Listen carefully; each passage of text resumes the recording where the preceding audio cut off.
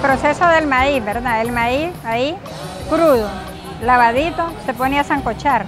Después de que esté zancochado, se asolea, que esté sequito como está este ahorita, se pone a tostar. Cuando ya esté tostadito, se le revuelve todo lo que es el cacao, los olores y se va al molino.